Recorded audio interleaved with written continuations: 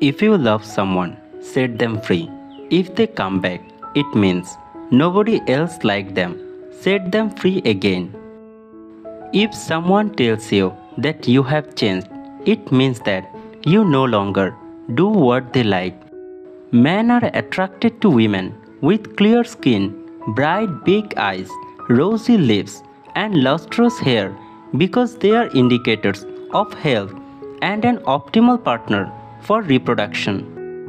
We live in a generation where cheating is casual and letting someone go is easy, but understanding and making efforts for one person is difficult. If you don't fight for what you want, then don't cry for what you lost.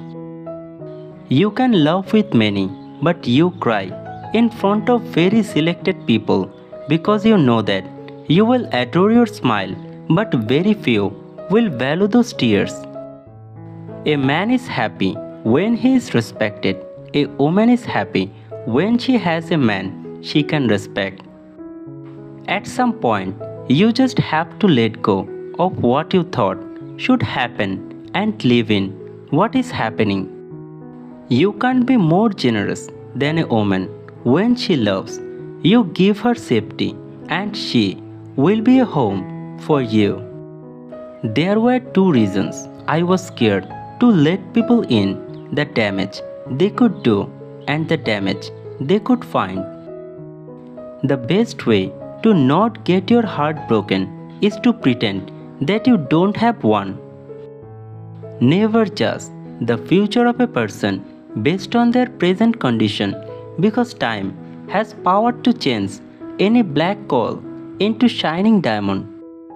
I don't understand why destiny allowed some people to meet when there is no way for them to be together.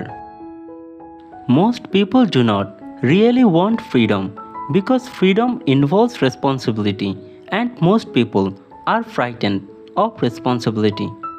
When you are rejected, be it from something or someone, consider it a redirection from the universe. It means your purpose and your presence is greater than what you have been tolerating.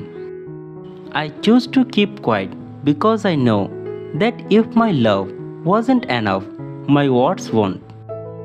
Talking to someone for hours is so dangerous because one day you both will stop and it will hurt you.